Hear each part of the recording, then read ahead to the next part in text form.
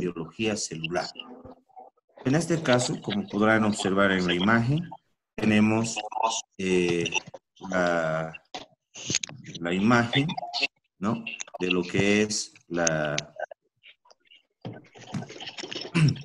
de lo que es nuestro primer slide ¿no?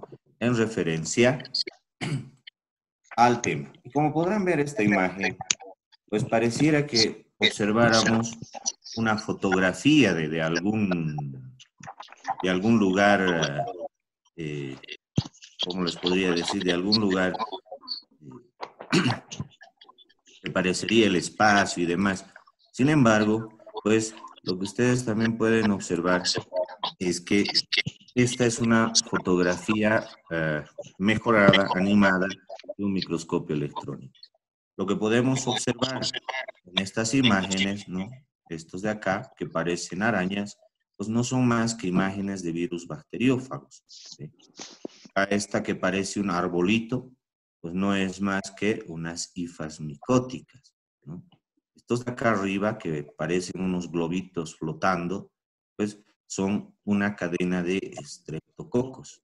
Y esta otra que parece una nave espacial con colas, pues es un bacilo que está con sus flagelos.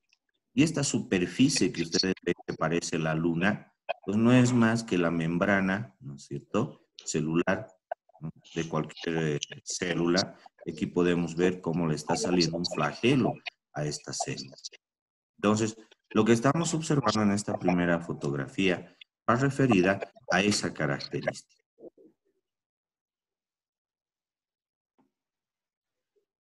¿Estamos siguiendo todos hasta ahí bien? Sí. Sí, doctor. Sí. Dígame. Me preguntaba algo, dígame. Doctor, en mi celular no se visualiza nada. ¿No están viendo? No. A ver. Vamos a volver a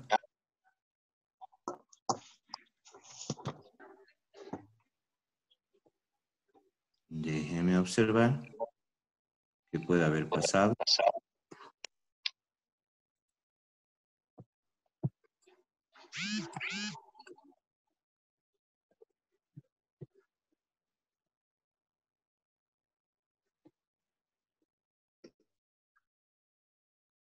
Ahora tampoco. Eh, doctor, se ve normal. Creo que tiene, algunos está fallando su audio y el video. Pero si es problema interno, doctor, ya no es de ustedes. Los demás ven entonces. Sí, y revisa que esté... Se ve normal. Sí, se ve normal.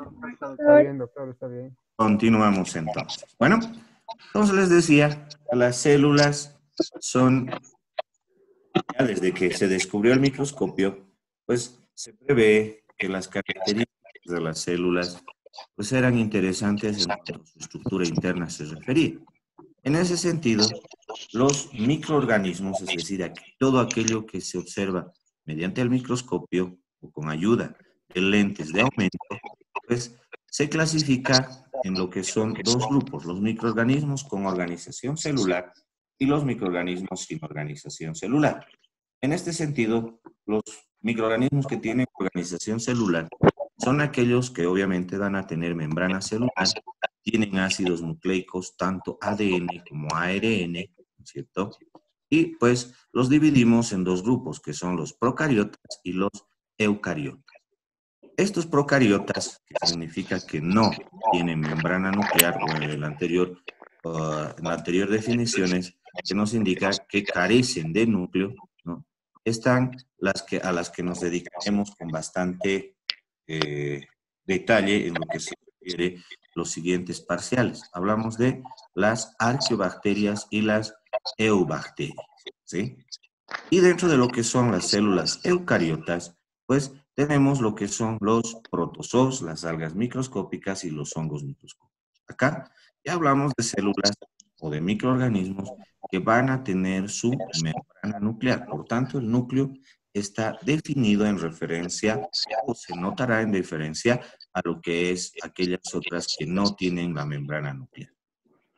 En referencia al otro grupo, microorganismos sin organización celular, aquí viene algo que es sumamente interesante. Estos ¿no? poseen membranas, no hay membrana nuclear, no hay membrana plasmática, ninguna de las membranas. Y pues este tipo de microorganismos no tienen los dos ácidos nucleicos juntos, o son ADN o son ARN. ¿sí? Y por esta característica, pues tienden a ser parásitos estrictos, de tal manera que significa que no tienen además metabolismo y no tienen una organización celular como las vemos en estas células, como son las eucariotas y las procariotas. Es algo que si ustedes se acuerdan en nuestra primera clase, les decía, pues incluso no son considerados seres vivos por esta razón de no tener los dos ácidos nucleicos, ¿no? Entonces, ¿de quiénes estamos hablando? De los virus, viroides y de los priones. No se olviden que justamente en esta época que está tan de moda, y la razón por la cual estamos pasando nuestras clases virtuales es por este tipo de microorganismo, que es un virus, ¿no es cierto? El coronavirus es el que está ahora eh, obligándonos a que podamos pasar ¿no? las clases de esta manera, ¿no? Entonces, en este grupo de los microorganismos sin organización celular, tenemos a los virus, viroides y a los priones, ¿sí? Dentro de lo que son estos virus, eh, vamos a hablarlos con mucha más calma en lo que se refiere el tercer parcial, ¿sí? Entonces, acá presentamos una imagen donde podemos ver la gran variedad en lo que se refiere los microorganismos. ¿sí? Tenemos acá encerrados en, esta, en este diagrama a lo que son los eucariotes. En este caso, hablamos de los protozoarios, las algas, que tienden a tener estructuras organizadas, membranas citoplasmáticas ¿sí? ¿Quiénes están por fuera? Pues, bueno, también otro eucariote que son los hongos, que también tienen núcleo algunos, ¿sí? Y en referencia a los procariotes, pues nos referimos a las bacterias, ¿sí? Fíjense, acá tenemos un bacilo, no tiene núcleo, ¿no es cierto? Es una procariote, ¿sí?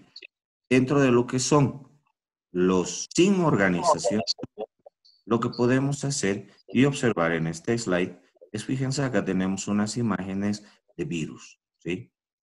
Característicamente este es el virus de VIH, ¿no? Y bueno, una parecida por la cual también la han bautizado al, coronavirus es porque parece corona, es muy parecido a esta estructura de este virus, ¿sí? Entonces, si se dan cuenta, la gran variedad que existe en lo que se refiere a los microorganismos, que nosotros podamos prever que vamos a tener mucho más dificultad para poder estudiar. Sin embargo, pues clasificamos a, estas bacterias en referencia a, ya hablando esquemáticamente, lo que son principalmente las, eh, las, eh, las estructuras de estos microorganismos, podemos ver cómo podemos clasificarlas en dos grupos, las arqueobacterias y las eubacterias. Las arcobacterias van a ser aquellas que tienen características ¿no?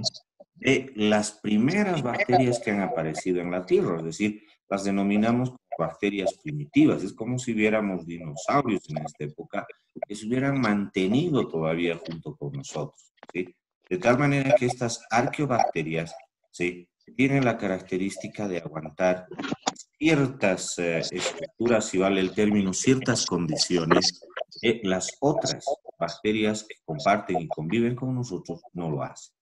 De ahí que las llamamos bacterias extremas, ¿no? Algunas de ellas, como ven en esta imagen, que es la Alobacterium salunarium, ¿no? Tiende a aguantar concentraciones altas de sal, es decir, es halófila, sobrevive en lugares muy salados. ¿sí?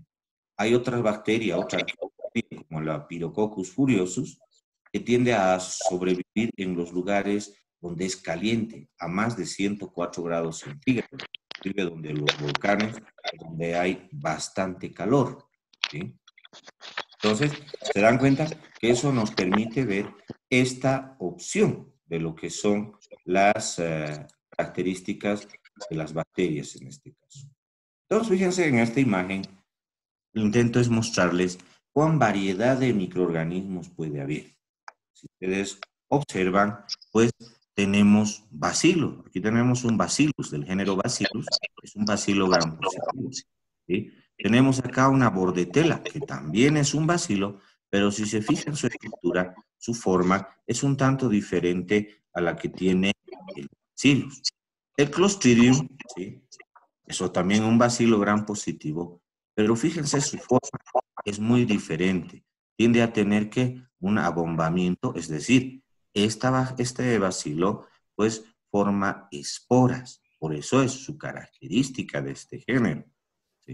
La Escherichia, que es la más conocida, me parece, la Escherichia coli, ¿no? Es esta que tiende a tener la estructura de un bacilotipo, ¿no? es una enterobacteria, la encontramos en el tracto digestivo. La espirulina es espirilu, que tiene esta característica de ser alargada como un resorte, bueno, diferentes tipos de espirilos. El estafilococo, que ven en esta imagen, pues ya hablamos de un coco gran positivo. Su característica cuál es? Que tiende pues a generarse o formarse como si fuera, ¿no? Un eh, racimo de uvas. De ahí el nombre, estáfilo significa racimo y cocos. Entonces estamos hablando de un coco ¿no? gran positivo. Por su forma de agruparse lo llamamos estafilococo. Los estreptococos pues ya vienen, como dice su nombre, estrepto significa cadena. Y esta característica de, la cadena hace que tenga ese nombrecito. Y si se dan cuenta ustedes, miren, este es un estreptococo. La salmonella, pues es un bacilo gram negativo también, al igual que la Escherichia coli, y también es una enterobacteria, sobrevive en el tracto digestivo y no se olviden, muchas de las especies de la salmonella resultan ser altamente patógenas, sus estrellas, la salmonella tifi y la salmonella paratifi. ¿sí?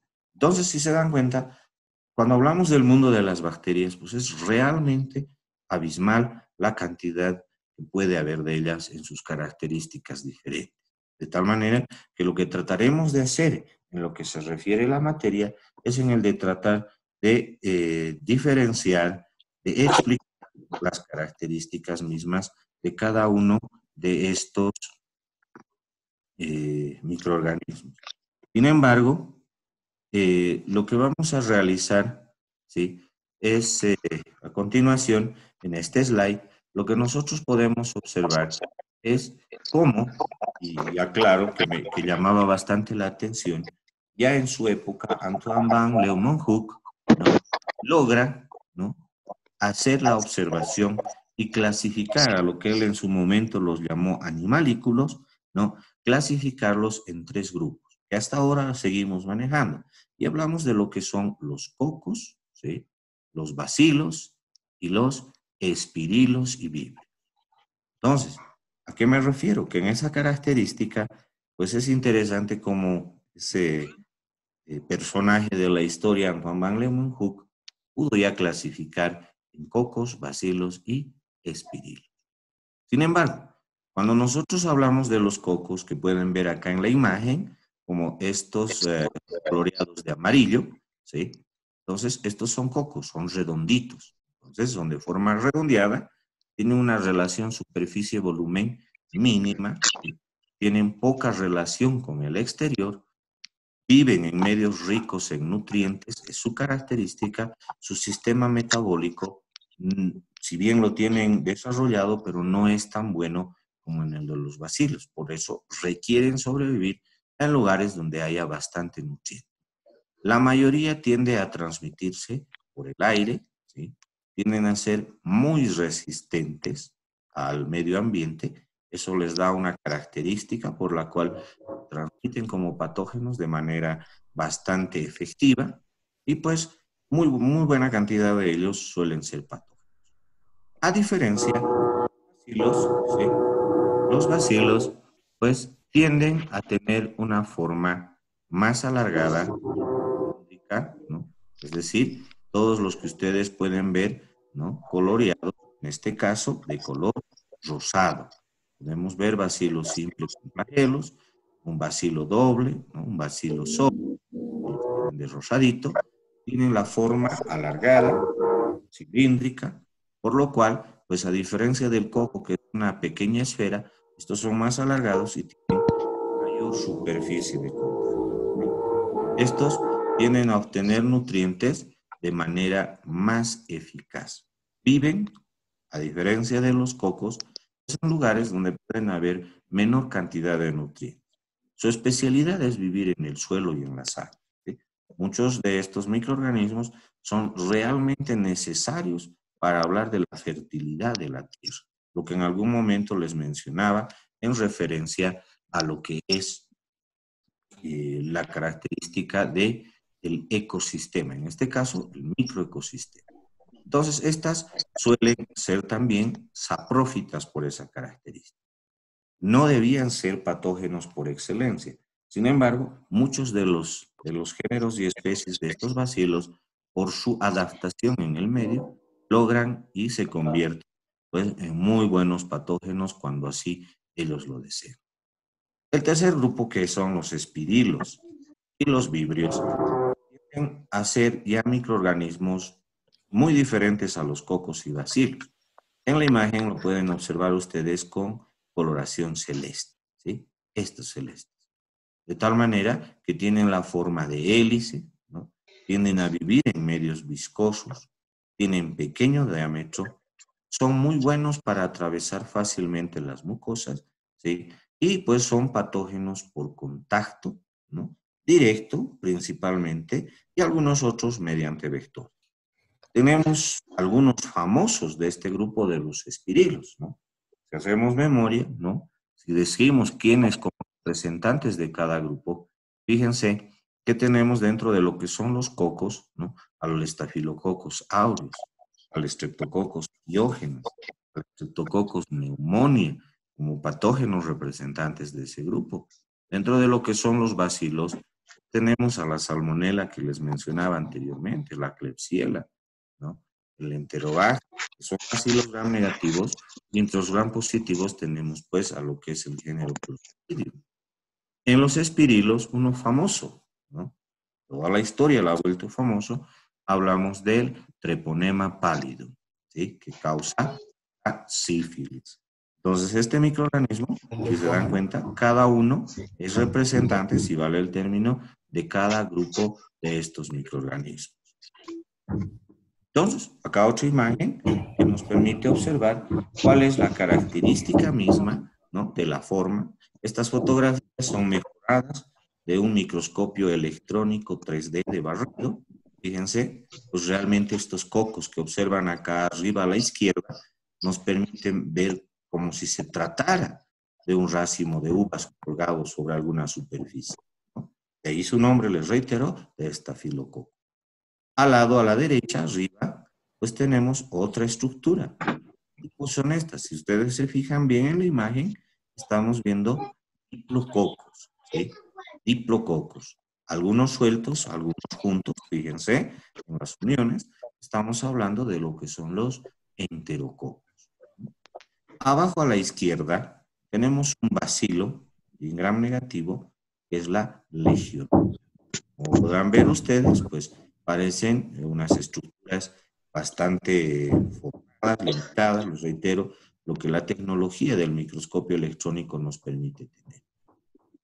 Abajo a la derecha tenemos a la Escherichia coli, una fotografía también mejorada del microscopio electrónico que nos permite observar la característica de este bacilo.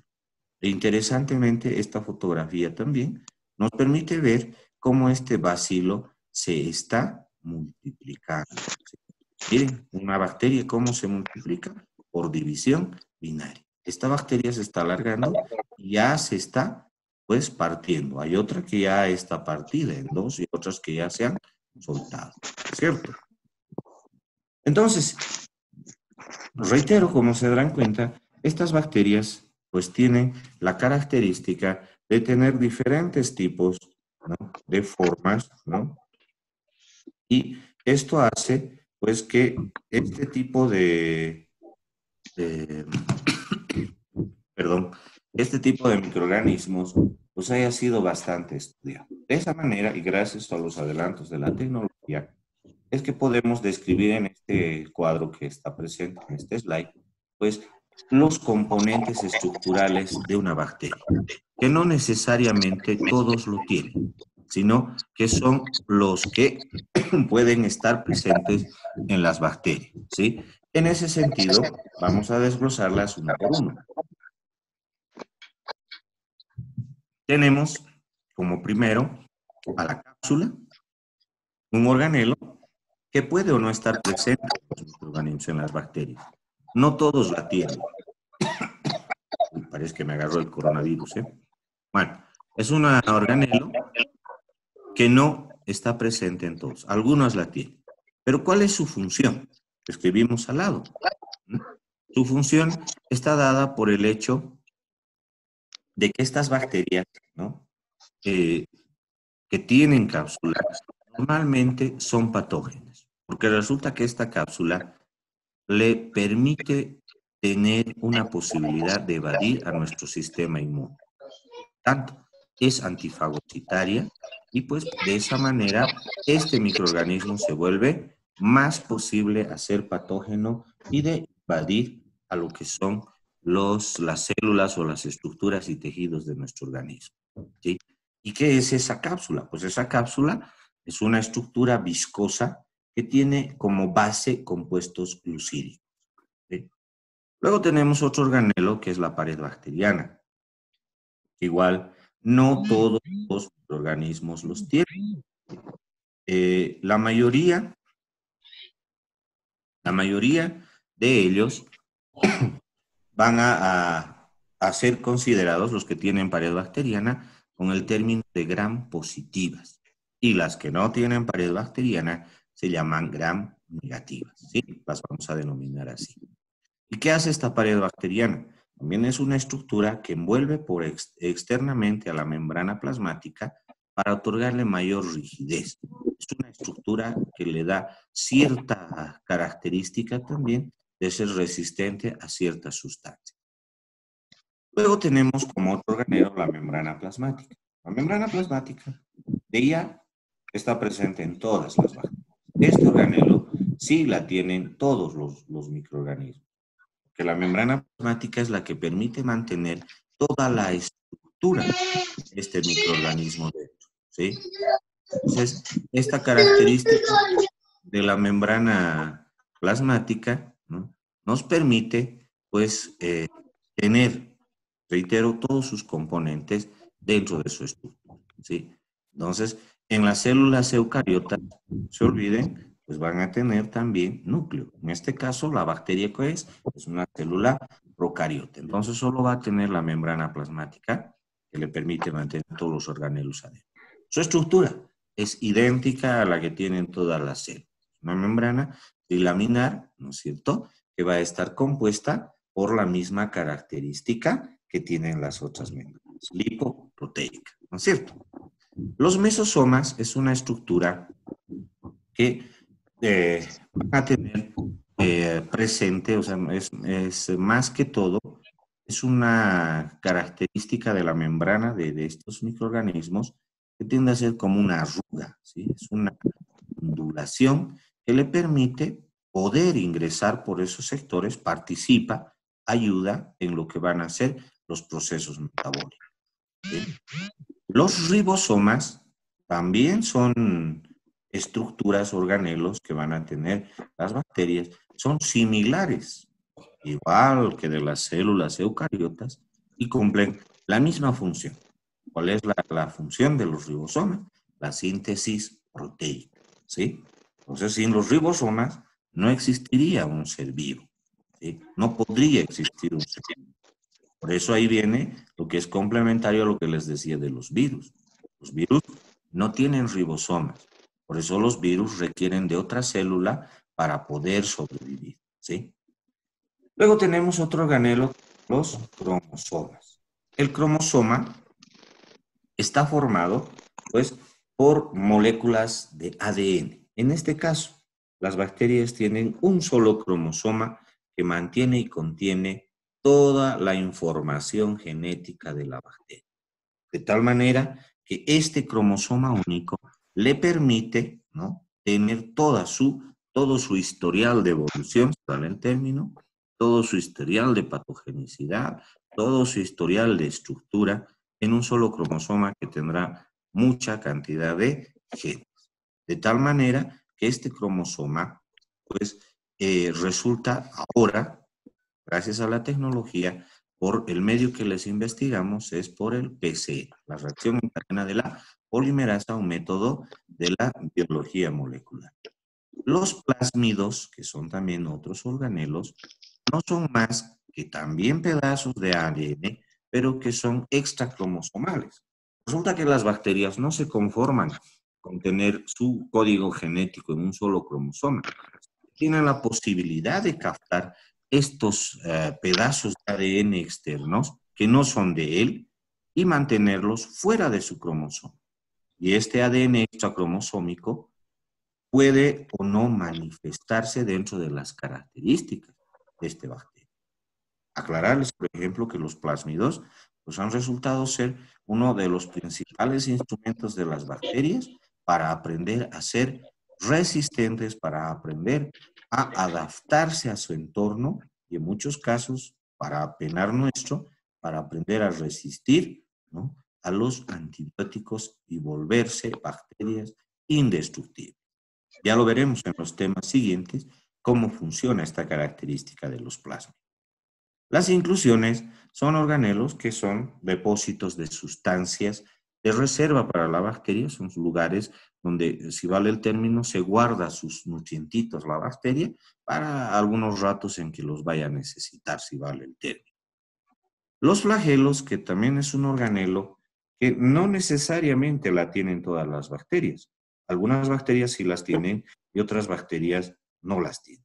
Entonces, estos flagelos tienden a darle la posibilidad de motilidad, es decir, de poder moverse principalmente. Y en algún caso, pues son eh, las que le otorgan una capacidad, si vale el término, evasiva del sistema inmunológico. Son estructuras de tendencia proteica que, eh, pues, pueden o no tener las bacterias, como. Las fimbrias o pilis son estructuras mucho más delgaditas y pequeñas que los flagelos, pero que sin embargo, interesantemente, y esto es algo que no deben olvidarse sobre las fimbrias o pilis, ¿no? que son huecas ¿no? y largas, de tal manera que son como tuberías. Y al ser como tuberías, le permiten interesantemente conectar estas fimbrias y pilis entre bacterias, de tal manera que cuando se conectan entre bacterias por sus pilis, pueden, por el hueco que, representa estos, pues transferirse, ¿no? Material genético, como los plásmidos que les decía, o pedazos de cromosomas, y de tal manera estos puedan manifestarse entre ellos, ¿no? Intercambiar, el uno lo aceptará, el otro no lo aceptará, pero le va a permitir en este caso, pues, intercambiar ese material que tiene dentro de su estructura, pasarla a la otra bacteria por medio de estos pilis, que son como tuberías. Y el plus más de las fimbrias y pilis, que no es solo eso.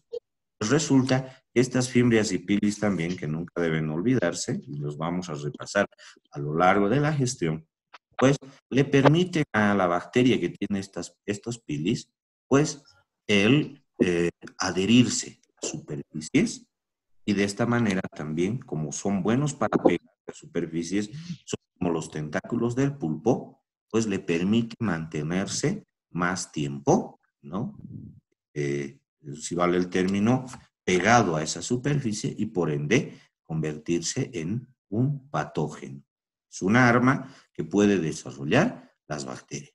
Como se darán cuenta, los organelos que hemos mencionado en este cuadro, la mayoría, pues, son parte estructural básica mínima de estos microorganismos y algunas otras pueden o no tener las bacterias. Pero las diferencia por el hecho de su característica de la utilidad que le van a dar a la bacteria. Entonces, miren, acá tenemos algunas imágenes. Hablamos de una bacteria con cápsula. Fíjense cómo está la cápsula de esta bacteria. Miren, es un bacilo. Y aquí toda esta estructura externa que ven como un huevo estrellado, esta parece la clara y esta parece la yema, ¿no? Esto que parece la yema es el bacilo y esto que parece la clara, pues es la cápsula de la bacteria. Les decía, ¿qué características le otorga? Pues el de evitar la fagocitosis. ¿Qué ocurre? Que la bacteria se ha agrandado, vuelto mucho más grande y por ende es más difícil que la fagocite. Esta estructura que la protege también le cubre de lo que pueden ser las otras maneras de la respuesta inmunológica. A la izquierda tenemos la imagen de lo que es un bacilo pilis. ¿Eh? Es una coli con sus fimbrias opilis.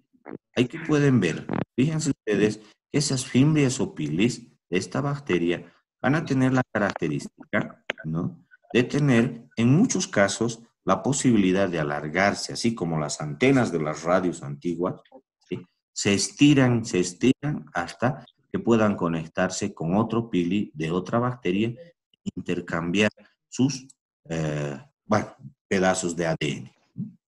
Otra estructura que es importante, en algún momento vamos a desglosarlo con más calma y Dios mediante solucionado este problema, también con los auxiliares van a trabajar ustedes bastante lo que son los estafilococos. En este caso que hablamos de la pared bacteriana.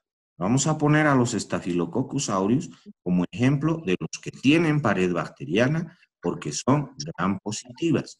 Y vamos a hablar de la Escherichia coli como un bacilo gram negativo, va a ser el ejemplo para que nosotros hagamos las observaciones. Entonces, ¿qué ocurre con la pared bacteriana? Les decía, no todos tienen. Los gram positivos sí tienen y las gram negativas no tienen pared bacteriana, por lo menos como la manifiestan los gram positivos. Entonces, ¿qué es lo que hacemos? Utilizamos coloraciones que nos permiten caracterizar estas estructuras. Una de ellas es la famosa tinción de Gram, creada por Christian Gram, quien hizo esta unión de dos colorantes, otras dos sustancias más, que son parte de la famosa tinción de Gram. Tenemos al colorante, que es la violeta, ¿cierto? Tiene luego un mordiente, que es el lugol, luego viene el decolorante, que es el alcoholacetona y luego viene el colorante de contraste que es la safranina. Esos cuatro componen lo que es la tinción de gram. Los gram positivos se tiñen con la violeta y los gram negativos se tiñen con la safranina. En una clase posterior haremos la descripción con mucha más calma y mucho más específicamente. Otra manera de esquematizar a lo que me refería sobre el patrón Fíjense, tenemos aquí la pared o la estructura externa, la membrana externa de un gram negativo, es decir, de ese bacilo que habíamos visto anteriormente. Fíjense, ¿no? Era la Escherichia coli. Aquí la vemos ahora, miren, es la doble membrana, arriba el cuadro superior, donde vemos esas ramitas azules, son los polisacáridos de un gram negativo. Abajo, ¿qué está?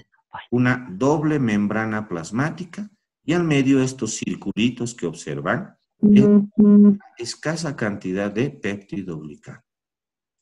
Esos son los gram negativos. El gram positivo es la imagen de abajo y ustedes pueden ver cómo este cuadriculado, esto que parece una reja rosada, es la estructura de péptidoglicano.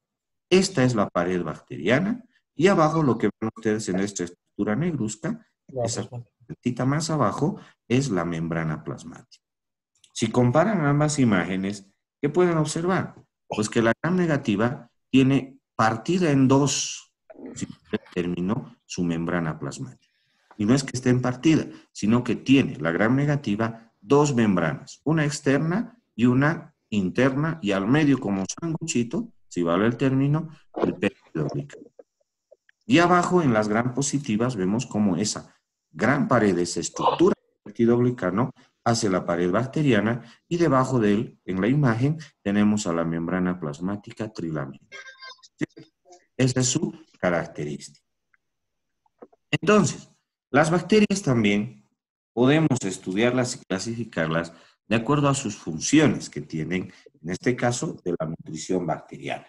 Podemos hablar de las funciones de nutrición bacteriana en lo que son las autotrofas y las heterótrofas. Es decir, aquellas autotrofas, en términos generales, significa las que pueden eh, utilizar compuestos inorgánicos eh, para lo que son la elaboración de sus nutrientes metabólicos. Y las heterótrofas son aquellas que trabajan a partir de compuestos orgánicos. Es decir, autotrofas a partir de compuestos inorgánicos y los convierten en compuestos orgánicos para que ellos los utilicen. Las heterotrofas utilizan compuestos orgánicos de, otros, eh, de otras células o de otros lugares para volverlos en otros compuestos orgánicos también que vayan a utilizar. ¿Cierto? Entonces, dentro de las autotrofas tenemos a las autotrofas fotosintéticas, ¿no? Que son muy pocas, pero que sin embargo son aquellas bacterias sulfurosas verdes y purpúreas. Sí, cuando hablamos de fotosintéticas, necesariamente deben tener estos pigmentos porque son los que le permiten, ¿no? realizar su proceso Se llama fotosíntesis, ¿sí? Son como las plantitas. Sí o sí necesitan clorofila o este pigmento coloreado que les permite hacer su proceso de fotosíntesis. Entonces, sí o sí necesitan luz. Las autotrofas quimiosintéticas, que son mucho más poquititas todavía, utilizan la energía de acuerdo a la reacción química que realizan. Es decir, cuando convierten compuestos inorgánicos a compuestos orgánicos mediante la oxidación. Estos no utilizan.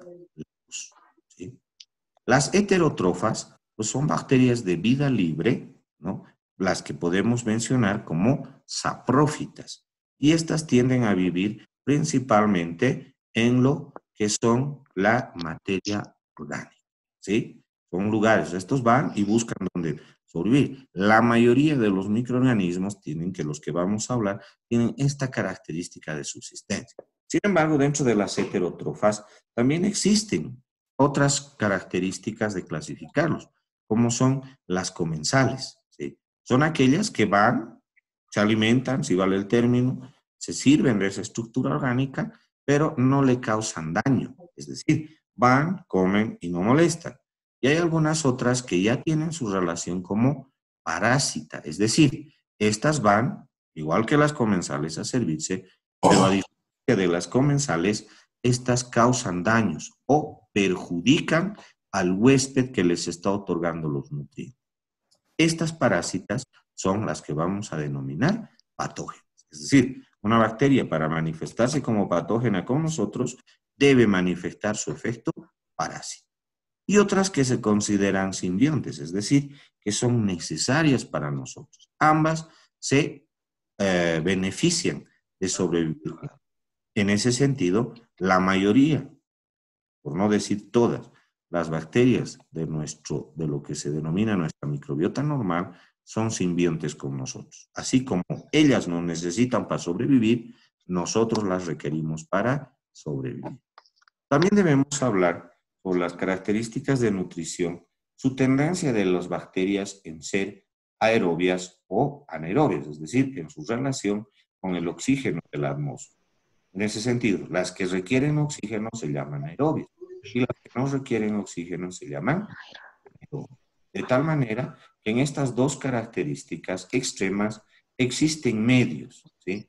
Hay algunas que se pueden llamar, pues en los extremos, aerobias sí o sí, y las anaerobias estrictas, y al medio tendremos las microaerófilas y las anaerobias facultativas.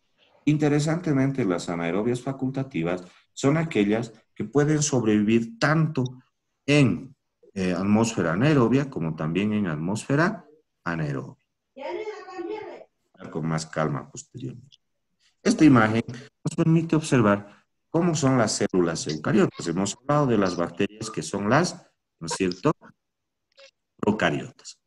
Las levaduras de hongos, como podemos ver, esta imagen en la parte superior izquierda es una levadura de hongo, de una cándida. Fíjense, tiene su núcleo y tiene su estructura al igual que una célula eucariota común, ¿no?